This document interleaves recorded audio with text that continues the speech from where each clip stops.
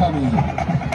On behalf of Andalusia City Schools Superintendent Ted Watson, Principal Dr. Daniel Shakespeare, and Band Director Benny Shellhouse, we proudly present to you the 2020 Marching Bulldog Band.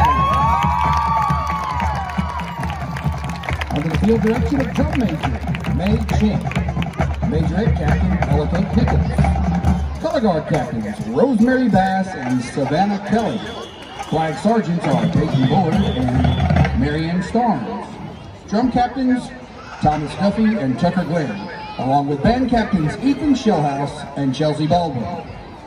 The show tonight consists of a 70s medley, Open Arms, and Jump in the Line.